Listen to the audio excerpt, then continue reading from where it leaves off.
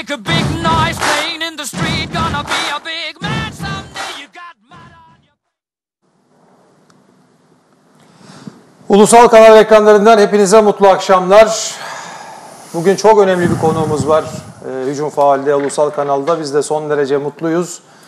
Ee, vasat olma, efsane ol mantığıyla basketbol antrenörlük yaşantısına başlayan ve e, dahil olduğu bütün organizasyonlarda gerçekten efsane olan kim?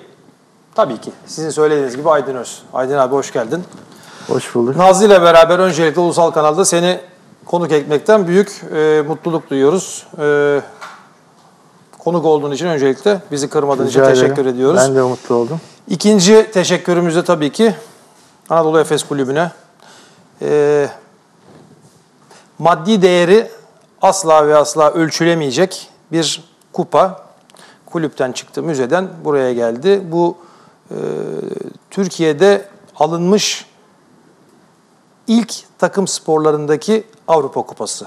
Bunun değerinin paralarla ölçülebilme ihtimali söz konusu değil. Onun için Efes'e özellikle bir kere daha Teşekkür ederim. teşekkür ediyoruz. İşte o günlerin ilk finalin bu şampiyonluğun değil ama e, Torino'daki ilk finalin final için yapılan o eşofman. Bu da o final için yapılan forma. Bunlar 21 senedir benim arşivimde saklanan şeyler. Herhalde bugünden sonra da artık e, gerçek yerine hani Efes Müzesi'ne de artık gönderme zamanım geldi diye düşünüyorum. Bugüne kadar saklamıştım. Vallahi Güzel günlerdi. Kupayı görünce çok heyecanlandım içeride. Yani Tuncay Bey buna nasıl izin verdi o müzeden diye hayret ettim hatta. Çünkü çok değerli bu. Yani Evet, evet. e, kazanılmış e, tek Avrupa Kupası. E, onun için yani e, Tuncay Bey'in şahsına, Tuncay Özülen şahsına yani Efes e, kulübüne de teşekkür etmek gerekir. Tabii bu kupa kazanıldı ama çok büyük bir emek var tabii altında. Çok yani. çok.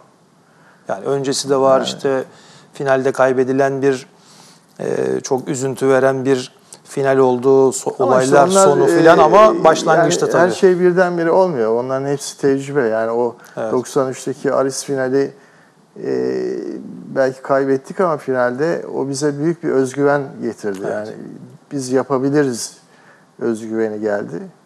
Yani 96'da da onu gerçekleştirdik takım takım olarak. Bu arada hemen Nazlı'ya sözü verelim çünkü onun şu anda Twitter'la Şu ilgili hesapları var. haftadır Evet. Biz Aydın Örs gelecek dedik dediğimiz andan Öyle mi? itibaren korkunç bir ilgi, alaka. Sizi herkes Sağ çok olsunlar, seviyor. Sağ olsunlar. Ee, yani burada isimlerini sayamayacağım ama o kadar çok sevgi ve selam mesajları geldi ki önce Sağ onu çok ileteyim. teşekkürler. Sonra da seyircilerimize hemen Twitter adresimizi hatırlatayım. Hucum alt hesabından bize ulaşabilirsiniz. Sorularınız da geliyor. Ee, tekrar hoş geldiniz. Ben çok heyecanlıyım Aydın abi. Bugün inanamazsınız. Bir senedir Nejat'la program yapıyoruz ama beni hiç kimse bu kadar heyecanlandırmamıştı konuk Sağ ol, ettiğimizde. teşekkürler. Ee, emeklerinize sağlık, ellerinize sağlık. Ee, gerçekten Türkiye'de bir basketbol kitlesi sevgisi varsa bunun en büyük emektarlarından birisiniz. Öncelikle de bunu belirteyim. Teşekkürler. Ee, ben sorulara geçeceğim ama Nejat'ın sanırım e, bir takım sürprizleri var. evet. Sürprizlerden ziyade şöyle e, Aydın Öz deyince önce Başka sür- bundan başka sürpriz var mı? en büyük kupa olarak sürpriz mi? en güzeli buydu. E, tabii Aydın Öz aslında kimdir, nereden başlamışa gelmek lazım. Yani antrenörlük yaşantına e, Ankara'da basketbolculuk yaşantından sonra başladın ama tabii milat işte Efes'e gelişin, Pananatov gibi gelmiş geçmiş bence en müthiş yöneticinin Aynen, bütün aynen öyle. yöneticilik, profesyonel yöneticilik kapılarını açan, bu arada antrenörlerin de önünü açıp antrenörlerin de profesyonellikte adım adım ileri gitmesini sağlayan muazzam bir yönetici vardı. Arkasından kaç kişi geldi dersen çok kişiyi getiremedik yönetici olarak, kaliteli yönetici olarak Türkiye'de. Zaten basketbolumuzun da sorunu bu diye düşünüyorum. Ama eee, bunu yapabiliriz diye düşünüyorum. Yani istedikten sonra bunu yapabiliriz diye düşünüyorum. Yani şimdi şöyle, e, yani bu başarıları bir kişi tek başına e, zaten yapamaz. Yani tamam, e, siz teşekkür ederim beni e, e, onurlar onurlandırdınız, e, bu başarılarla özdeştirdiniz ama e, şimdi e, büyük bir ekip vardı. Yani onun başında işte Tuncay Bey bahsediyoruz zaten ama Parnatov gibi e, gerçekten e, müthiş bir yönetim zekası olan e, bir şube kaptanıyla daha sonra aramıza katılan zaten bu kupanın kazanılması onda çok büyük payı var. E, Doğan Hakkemez gibi bir Evet. menajerle e, çalıştık. Yani şimdi tek tek saymayayım. Yani tabii e, gerek idari, teknik, e, teknik staff olarak, e, e, oyuncu grubu olarak e, çok e, in- hem insan olarak hem e, yetenek olarak e, çok kaliteli insanlarla çalıştık. Yani bu ekiplerde daha önce sen de bulundun. Yani 93'te e, yani Ergin, Oktay olduğu ekipte sen de vardın. Yani büyük bir disiplin içerisinde, çok büyük bir özveriyle yani biz o salona sabahın köründe girerdik, akşamın bilmem kaçında çıkardık. E, ama sonunda e, inanırdık ki yani bir vizyon ortaya koymuştuk. Yani bunun başarı gelecek. Yani bu başarı Avrupa'da bir başarı. Yani biz Türkiye'de şampiyon oluyorduk ama yani e, o bizi artık tatmin etmiyordu. Yani sonuçta da e, yani işte o 93'teki finalden sonra e, 96'da e, o şeyi başardık. Yani ekip olarak başardık. Peki bu arada tabii e, başarılı bir oyunculuk yaşantından sonra en doğru kararı Allah'tan vermişsin. Antrenörlüğe dönmüşsün.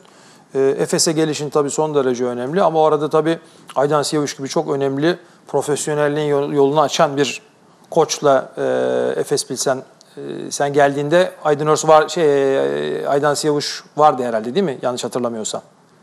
Şöyle e, e, ben geldikten e, 5-6 maç sonra e, Rıza Erverdi de antrenör o ayrıldı ve sezonun ortasına doğru e, Aydan Hoca geldi ve benimle çalışmak istedi. Ben çünkü sadece altyapı için geldim Ankara'dan. Evet, E, ondan sonra biz beraber yani onun yardımcısı olarak başladım. Ve 3 sene beraber olduk. Sonra bir sene Beşiktaş'a gitti tekrar döndü. Yani bir 5 sene e, beraber çalışmışlığımız var. Allah rahmet eylesin ben e, her zaman her yerde söylüyorum. Yani kendisi gerçekten e, bir e, koç olarak, bir e, e, basketbol adamı görüşü olarak e, çok ileri düzeyde bir koçtu benim gözümde. Ve ondan çok yararlandığımı her yerde de söyledim zaten. Evet, Aydan Siyavuş'la başlayan bir Avrupa'da e, özgüven süreci var. Özellikle o Tikhonenko'lu e, Rus takımının e, Makabi'nin olduğu bir grup senesi vardı. O gruptan çıkmışlardı hatta çok e, önemli İlk keyifli maç. girdik Koraç evet, evet, Kupası'nda. Koraç Kupası'nda ilk 8'di ki müthiş kadrolar vardı hatırlıyorum. E, Hatta fakat onunla ilgili e, ufak bir anekdot var. Yani onu da anlatmadan geçemeyeceğim. Yani e, Türk basketbolunun nereden nereye geldiğini göstermek açısından e, biz ilk 8'e girdik ve ondan sonra elendik. Bosna takımına elenmiştik. Ve ilk defa ilk 8'e böyle bir başarı olarak addediliyordu o Evet. zaman. Hiç unutmuyorum. e, yani bizim Efes'in Merter'deki tesislerine o zaman Spor Bakanı e, İsmet Özarslan'dı. Bize geldi ta spor e, şey e, bizim spor salonuna yani kulübe kadar geldi ve herkese birer kol saati hediye etmişti. Yani o zaman e, için ne kadar önemliydi. çok-? Evet. Evet. Şimdi ev arabalar hediye ediliyor ama tatmin olmuyoruz maalesef. Bu arada tabii e, Aydan Siyavuş'un belli ölçüde basketbola çok önemli katkılar verdiğini biraz önce konuştuk. İkinci önemli basketbola çağ atlatan dönemi başlatan sensin. Yani ben şurada ufak tefek bir iki anekdot söyleyeceğim. Zaten gerisini saymaya gerek yok. Takım sporlarında ilk Avrupa finali. Yani Aris'le sonra Saporta olan ismi Kupa. Hiçbir başka bir sporda bir Avrupa finali yoktu. Sonra Koraç Kupası ile 96 yılında ilk Avrupa şampiyonluğu. Yine takım sporlarında bu. Bütün sporlar dahil.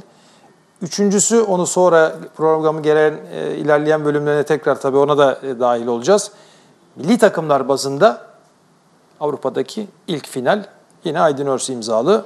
Bunların hepsi e, tesadüf olmadığını biliyoruz. Sen de çok fazla mütevazi olduğun için bunları çok e, üstlenmek istemezsin ama işin gerçeği böyle.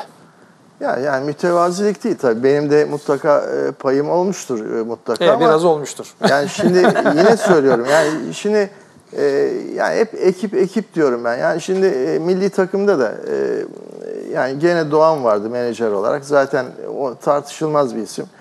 E, Çetin Hoca gibi daha önce milli takımda çalışmış, şampiyonluklar ülkelerde yaşamış, e, çok e, kaliteli. Tolga Öngören o zaman Tofaş'ın e, Tofaş'ta şa- şampiyonluk yaşamış. Murat Özyer gibi hep e, iyi koçlarla çalışmış. E, muazzam bir ekibimiz vardı. E, hem idari hem teknik olarak. Zaten oyuncu grubu 2-3 jenerasyonun birleştiği Evet. e, hakikaten kaliteli bir e, gruptu. Hem de hem insan olarak dediğim gibi hem de karakter olarak, oyuncu e, şeyi olarak. Dolayısıyla e, hedefi koyduk ve e, orada büyük uğraşlarla tabii kolay olmadı yani çok e, önemli e, yani zorlu maçlar şey yaptık ve final oynadık. Belki şampiyon da olabilirdik. E, Ama bizden daha tecrübeli bir e, Yugoslav milli takım vardı. Biraz da tabii e, onlar o tecrübelerini e, yani e, hem sağ içinde hem sağ dışında da iyi kullandılar ve şampiyon oldular. Yani hakikaten bizim için bir ilkti o, o şeyde milli takım olarak. Aslında şöyle de bakmak lazım Aydın abi. Almanların bir, İspanyolların iki çok önemli patlamalar yaptığı bence ilk turnuva orasıdır diye düşünüyorum. Ya İspanyollar zaten müthiş bir e, kadroları ve zaten son yıllarda hep öyle de e, yani o takımı yenmemiz hakikaten e, çok büyük bir başarıydı. Zaten grupta bizim olmazsa olmaz maçımızdı zaten yani o maç e, müthiş bir maçtı. E, yani işte daha sonra Hırvat maçı e, 19 sayıdan geldik. E, tabii orada seyircinin de büyük bir şeyi var. Alman maçı Novinski ile Almanya'ya falan. Yani hakikaten MVP seçildiği dönemler var Loviski'nin. Evet. evet yani işte güzeldi yani. İsterseniz Nazlı'ya gidelim çünkü Nazlı'nın çok yoğun bir programı var. Nasıl burada size çok kızgın bir taraftar kesimi de var Aydın abi. Öncelikle onu da söyleyeyim. Çok seviyorlar ama bir o kadar da kızıyorlar. Çünkü diyorlar ki Türk basketbolunu başıboş bıraktı Aydın Örs diyorlar. Ee, sizin çok değerli bir bayrağı e, ne denir koşturdunuz. Türkiye'de çok büyük bir hedef başardınız. Belki sizin için hedef değildi ama o devamı geldi. Çok değerli oyuncuların yanı sıra e, çok çok değerli. Bugün gerçekten Avrupa kupalarında Türkiye'nin adını dalgalandıran, e, bayrağını dalgalandıran, adını duyuran birçok koç e, Ergin Ataman, Oktay Mahmudi sizin elinizden geçti. Keza oyuncunuz olan Ufuk Sarıca bir Euro Challenge kupası kazandı. Yani çok değerli insanlar e, piyasada sizin sayenizde varlar işin açıkçası. Sizin emeğinizle buralara geldiler. Ve diyorlar ki e, şu anda Aydın Örs bu misyonuna devam etmiş olsaydı, antrenörlüğe devam etseydi Türkiye'de bu kadar çok yabancı koç olmayacaktı. Eyvah. Bizim bizim Obradoviç ve Ivkoviç diye herkesin taptığı insan aksine biz Aydın Örs olarak biliyoruz Ee, ve hiçbir şekilde Aydın Örs'ün eline su dökemezken bu insanlar Türkiye'ye geldiler. Lütfen artık parkelere dönsün diye de kocaman mesajlarla size Evet yazmışlar. mesaj bana da çok geliyor gerçekten. Ya Taraftarlar şimdi çok seviyor. Şöyle bir defa şu saptamayı yapalım. Yani e, Ivkovic ve Obradovic e, kendilerini gerçekten ispat etmiş.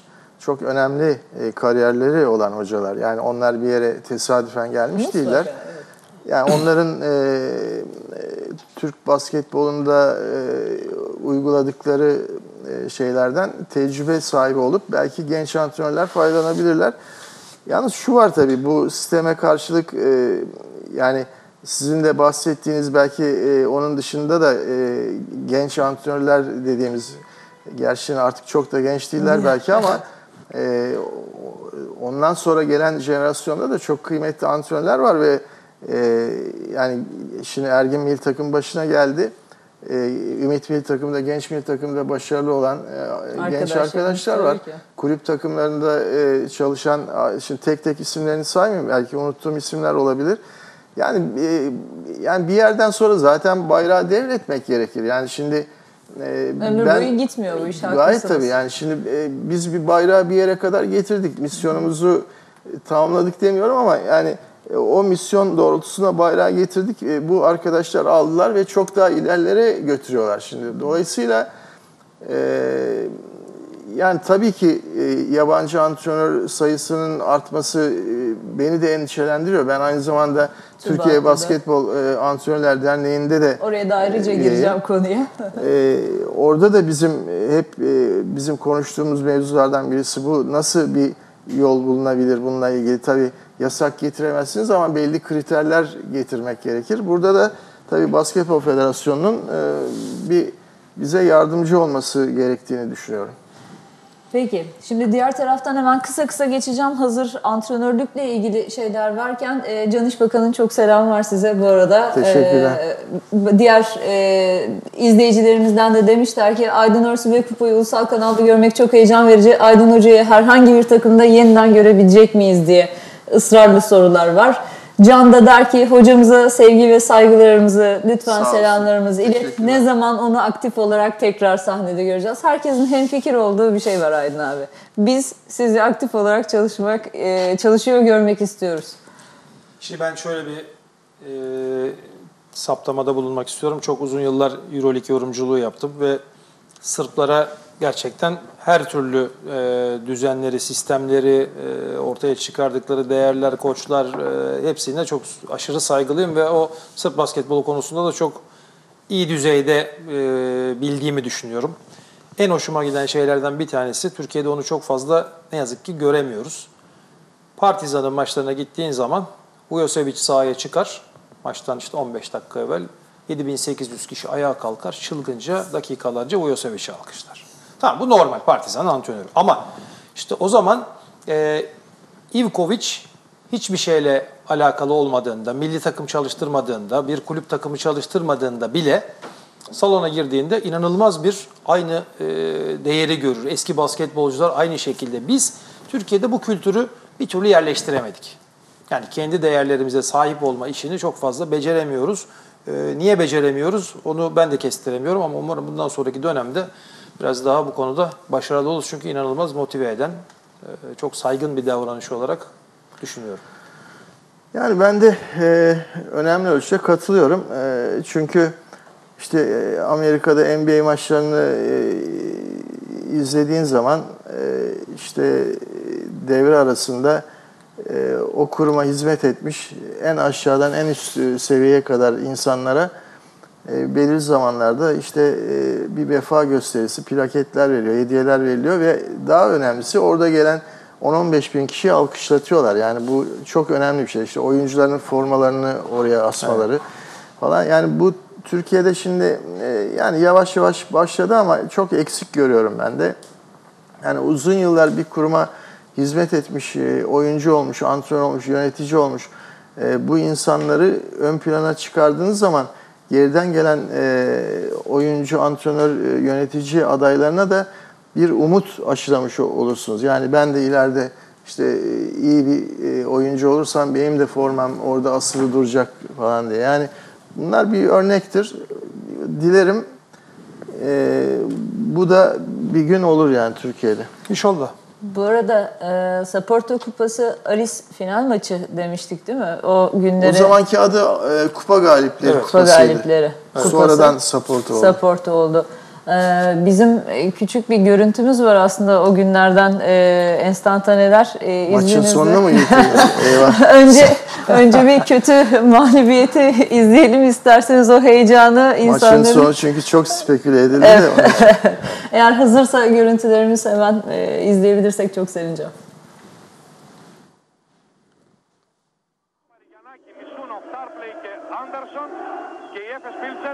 Έχει αναλάβει ο Άντερσον Ρίτσαρτ το πρώτο καλά προσπαθούν να φύγουν στον ευθυδιασμό με τον Σαρίτσα και νέα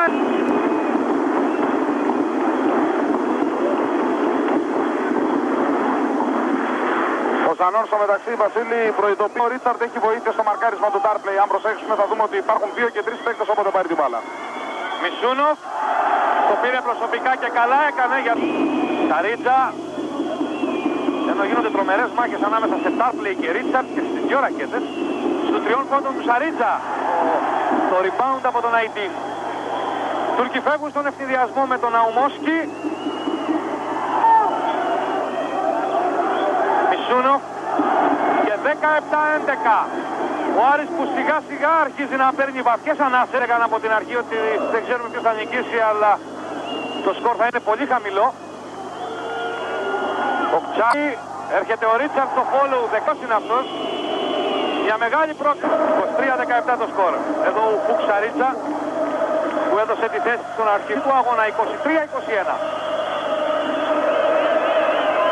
Η αυτήθεια του Μισούροφ και ήταν πριν από το τέλος. Και τώρα... Δηλαδή 3 στα 13 σουτ. Ο Ρουτζού για τον Αουμόσκι. Το σουτ από τον Σκοπιανό playmaker θέλω για να κερδίσει αυτό το κύπελο. Για να...